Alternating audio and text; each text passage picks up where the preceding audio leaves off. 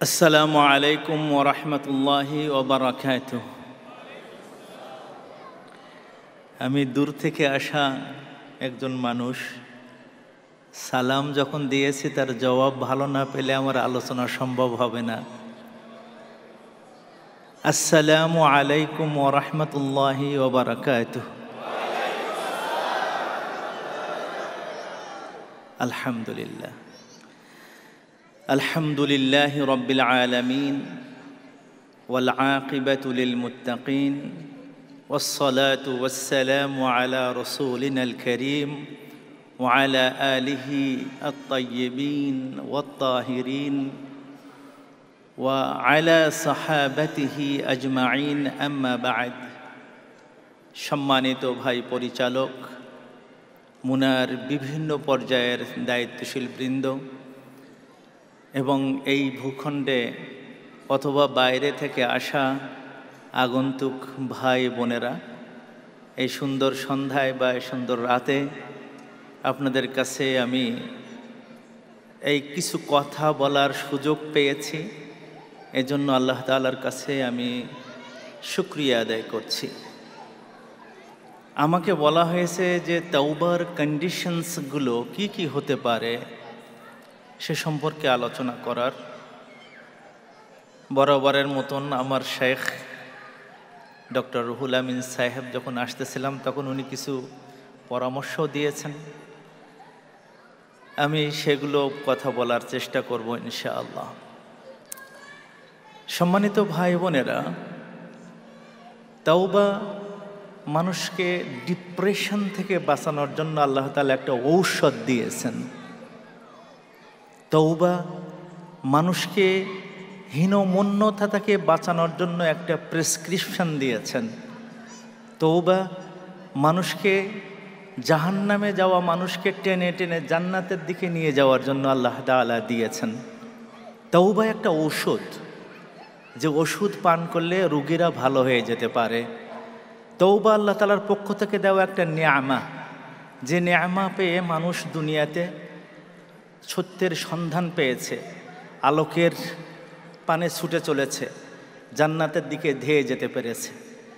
এর জন্য শর্ত কি? শর্ত হলো এই যে তৌবা করতে জানা। এইটা হলো শর্ত। তৌবা করতে জানতে হয়। তৌবা মানে ফিরে আসা। একজন মানুষ ফিরে এসেছে। এখানে দুটো শব্দ ব্যবহার করা হয় ফিরে আসার। একটা হলো তাবা আলাইহি, একটা হলো তাবা ইলাইহি। তাবা আলাইহি যখন আল্লাহ তালা বলেন, আমি ফিরে এসেছি বান্দা তোর কাছে। তাবা আলাইহি।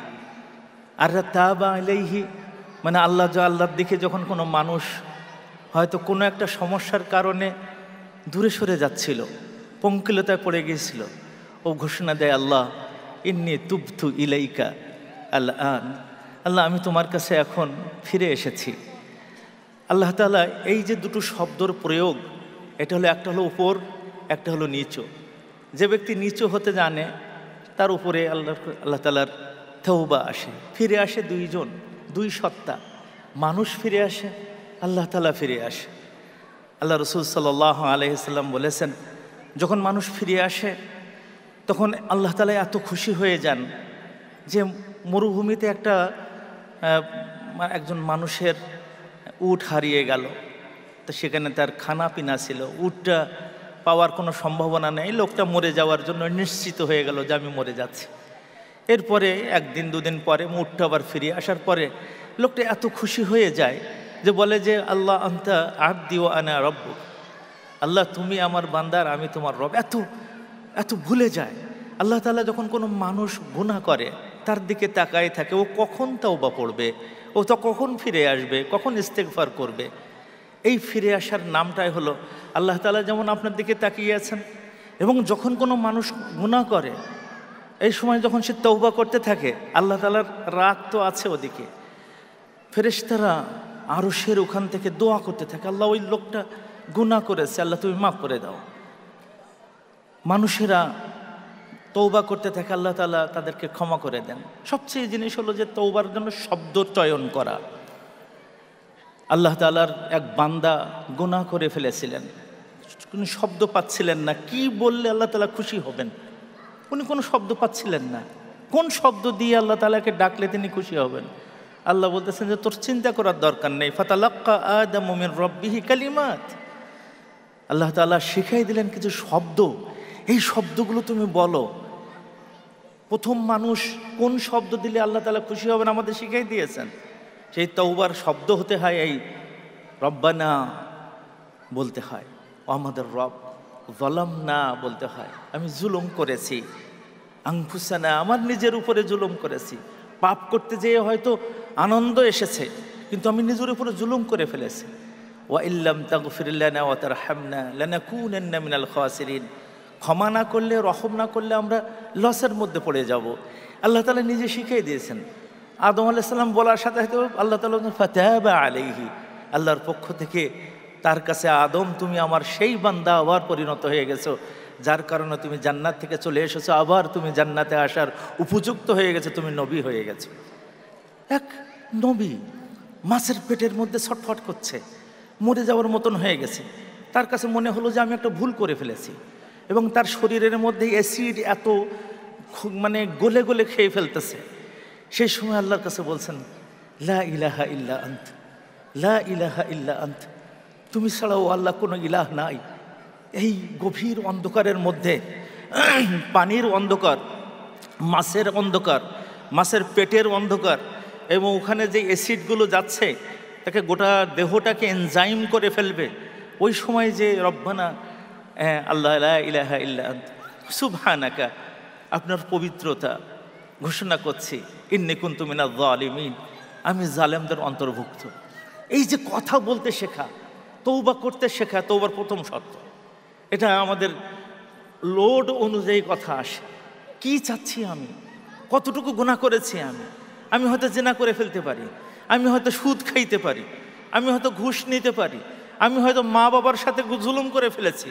লোড অনুযায়ী কথা বেরোবে, লম্বা হবে। দোয়া কখনো কখনো সারা দিন লেগে যেতে পারে। দোয়া কখনো কখনো সারা সাজদা লেগে যেতে পারে। দোয়া কখনো কখনো সারা রাত লেগে যেতে পারে। এবং এই তৌবার ভাষাগুলো লম্বা হতে থাকে। দ্বিতীয়ত হলো যে তাওবাটা যখন আমাদের প্রত্যেকের জীবনের জন্য মানফা, উপকার নিয়ে আসে। যে নূহ আলাইসাল্লাম বলেছিলেন তোমরা ইস্তেকফর করো তৌবা করো আল্লাহর কাছে। তাহলে কি হবে ইরসিলুসামা ইরসিল আলাইকুমুসামা মিদ্রা আকাশ থেকে তোমাদের উপর রহমত আসতে থাকবে আসতে থাকবে। তোমাদেরকে আল্লাহ তাআলা মাল সম্পদ দেবেন, তোমাদেরকে সন্তান দেবেন এবং তোমাদের জীবনকে সুন্দর করে দেবেন। এই যে এই যে জায়গাটায় এসে আমি তৌবা চাই, আমি তৌবা করতে চাই এবং প্রত্যেকটা মানে এখানে শর্ত হলো এই প্রত্যেকটা আকাঙ্ক্ষার সাথে সাথে এই তৌবাগুলো করতে থাকা দরকার। হাসানাত বাসরির কাছে একজন লোক এসে বলল, যে আমার তো অনেক সম্পদের দরকার, অভাব খুব বেশি। উনি বললেন তৌবা পড়ো। আরেকদিন এক ব্যক্তি এসে বললেন, যে আমার তো সন্তান হয় না, কি করব? তাহলে তৌবা পড়ো। আরেকদিন একজন এসে বললেন, যে আমার তো বড় বিপদ এসে গেছে, কি করব? তৌবা পড়ো ইস্তেকবার করো। তো ওনার সাগরেদ বললেন যে তিন দিনে তিন রকম রুগী ঔষধ দিলেন একই রকম। ব্যাপারটা কি? তখন উনি সুরা নোহের এই যে আয়াতটা আমি পড়েছি, সেখানে তিনি এই কথা বললেন যে আল্লাহ তালা তো নিজেই বলেছেন, এত এত এত এত দিতে থাকবেন, এত এত এত এত দিতে থাকবেন। তাই তৌবার মাধ্যমে যেহেতু এগুলো আসে, কাজেই ওই তৌবা করার সময় আপনি চিন্তা করবেন, আল্লাহ তালার কাছ থেকে আপনি আদায় করে নিয়ে আসবেন। তৌবার সময় সময় একটা বড় জিনিস, সময়। আমরা যখন তখন তৌবা পড়লে, এটা তো ঠিকই আছে, কিন্তু আল্লাহ তালা তৌবার একটা সময় নির্ধারণ করেছেন। সময়টা দুইভাবে বিভক্ত, একটা হলো ইবাদাতের পর পরই আল্লাহ তালা তিনটি গুনাহার কথা বলেছেন, একটা হলো শিরিক, একটা হলো হত্যা করা আর একটা হলো জিনা করা। এই তিনটি গুনার পরে আল্লাহ তালা বলেছেন ইদা আফ লাহুমুল আদাব আল্লাহ তালা এই গুণাগুলো এমন বিশেষ করে জেনার, এটা আল্লাহ তালা বহু গুণ শাস্তি দিতে থাকেন। বহু গুণ। ওই আখলুদ ফিহি মোহানা, সেখানে তারা পর্যুদস্ত অবস্থায় থাকে। কিন্তু আল্লাহ তালা বলছেন, ইল্লা মান মান বা যে ফিরে আসে ও আমানা এবং ইমান গ্রহণ করে। এর মানে দেখি তৌবার পূর্বসত্য হলো এই যে আপনি যখন এই গুণাগুলো করেছেন, তার থেকে তৌবা করবেন ইউনুস আল্লাহ সাল্লাম সেরা কথাটা বলে দিয়েছেন, লা ইলাহা ইল্লা আন্ত, লা ইলাহা ইল্লা আন্ত, ইমান আনা ও আল্লাহ আমি ইমান এনেছি। আমি যখন গোনাটা করে ফেলেছিলাম, তখন আমার ইমানটা ঠিক মতো প্রভাবশালী ইমাম ছিল না। আমি এখন ইমান আবার নিয়ে আসতেছি, লা ইলাহা ইল্লা আন্ত, লা ইলাহা ইল্লাল্লাহ মুহাম্মদুর রাসূলুল্লাহ, আশহাদু আল্লা ইলাহা ইল্লাল্লাহ। এইভাবে ইমান আনা। ওয়া আমিলা সালেহান এবং আমলে সলেহ করা, কোনো একটা জিনিস দেওয়া, দান করা দুরাকাত নামাজ পড়া, কোরআন শরীফ পড়া, কারোর সাথে একটু ভালো ব্যবহার করে আসা, আমলে সলেহ করা, করে আল্লাহর কাছে হাতুল্লাহ যে আল্লাহ, আমি তো বড় গুণা করে ফেলেছি, এই ভালো কাজটা আমি করেছি, তুমি শুধু খুশি হবে এই জন্য। দুটো রাকাত নামাজ পড়লাম, সেজদা দিলাম, আল্লাহ তুমি আমার উপর খুশি হয়ে যাও। আমি তৌবা করছি। এমনি তুপ তুই লাইকালান আমি তৌবা করছি তোমার কাছে এখন। আল্লাহ তালা কবুল করে নেন। এবং ওইটাকে তিনি বলেছেন, এটা ফাইন্নাহু ইয়াতুবু ইলাল্লাহি মাতাবা। তার এই তৌবাটা তৌবা করার মতন তৌবা দ্বিতীয় আরেকটা সময় আছে। সেটা হলো যে, শেষ রাতে আল্লাহ তাআলা মুমিনদেরকে পছন্দ করেন। বিশেষ করে পছন্দ করেন যে, অবিল আসহারি হুম ফিরুন যখন শেষ রাত, সমস্ত মানবতা, নিখিল মানবতা ঘুমাচ্ছে চারিপাশে। সুনসান নিরবতা। কেউ দেখছে না, কেউ শুনছে না। এর মাঝখানে বেড আমাকে আটকে রাখতে পারল না।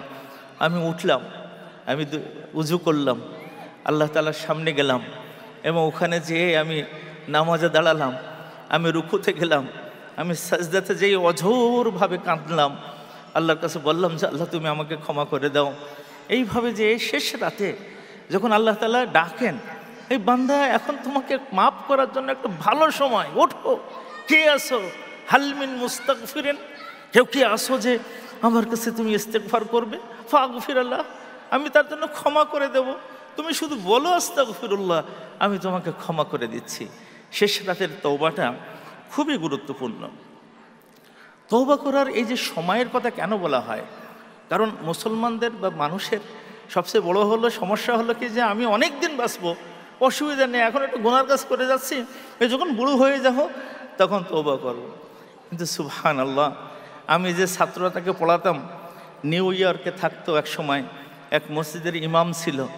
রাতে যখন বাংলাদেশে যাচ্ছে, ছুটি নিয়ে, আমার কাছে বারবার চেষ্টা মানে চেষ্টা করল টেলিফোন করার।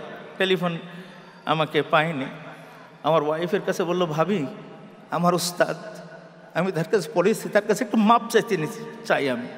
আমি মাপ চাবো একটু। এরপরে আমি যখন ফিরে আসছি, তখন তো রাত হয়ে গেছে, টেলিফোন করলাম, বাড়ির থেকে বল, বাসার থেকে বলা হলো, সে তো বাংলাদেশে চলে গেছে। বাংলাদেশে চলে গেলেন, দুদিন পরে আমি দেলোয়ারের কথা বলছি, হয়তো অনেক তাক চিনবেন। তো বাংলাদেশে যে মারা গেল। তখন আমার কাছে মনে হলো, আহ, যে ছেলেকে আমি পড়ালাম, সে চলে গেল আমার সামনে থেকে। আমি যাকে সবচেয়ে বেশি ভালোবাসতাম দুনিয়া, আমার বাবা। আমি তাকেও হারালাম, আমার শ্বশুরকে হারালাম। এইভাবে হারাতে হারাতে আমার কাছে এই অনুভূতিটা আসা দরকার যে আমারও চাওয়ার, যাওয়ার সময় যে কোনো মুহূর্তে আসতে পারে। আমারও যাওয়ার সময় যে কোনো মুহূর্তে আসতে পারে। আমার জন্য তাওবার করার জন্য কখনো দেরি করা উচিত নয়। এক দুনিয়ার সেরা সুপার পাওয়ার, সে ডুবে যাচ্ছে ডুবে যাচ্ছে ডুবে যাচ্ছে, কোনোভাবে ওঠার আর কোনো শক্তি নাই, মারা যাচ্ছে। তখন মনে বল, বলে উঠল, আল্লাহ, তোমার কাছে এমনি তু তুই এই খেলা আর আমি তোমার কাছে তৌবা করলাম।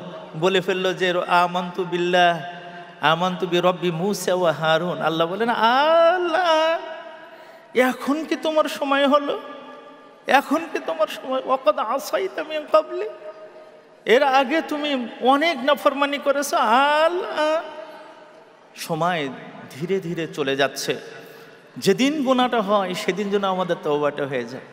এক লোক এসে আল্লাহ রসুলকে বললেন, ইয়া রসুল আল্লাহ আমি যখন রাস্তা দিয়ে আসতেছিলাম, এক মেয়ে তার সৌন্দর্য আমাকে বিমোহিত করল। আমি তার মুখে চুমা দিলাম। এখন আমার কি হবে? আল্লাহ রসুল সাল্লাহ আলাইসাল্লাম তার গতি প্রকৃতি বুঝলেন, তার মনের কষ্ট বুঝলেন। এরপরে নামাজ পড়ল। নামাজ পড়ার পরে এ তার তৌবা আল্লাহ তালা দেখলেন। আল্লাহ তালা বলে দিলেন আয়াত নাজেল করে যে লোকটা এরকম করে আসছে, তার তৌবা আল্লাহর কাছে কবুল হয়ে গেছে। সঙ্গে সঙ্গে, দেরি কেন? আজকে অন্যায় করে ফেলেছে, আর দেরি কেন? ইন্নি তুবথু ইলাইকা, ইয়া রব্বি, আল্লাহ তোমার কাছে আমি তৌবা করছি। ইস্তেকফারের ভাষা আমি বলতে চাচ্ছিলাম, সেখানে আল্লাহ রসুলের ভাষাগুলো দেখেন, যে সে শব্দগুলো তিনি চয়ন করেছেন। ফেরাউনের ভাষায় নয়।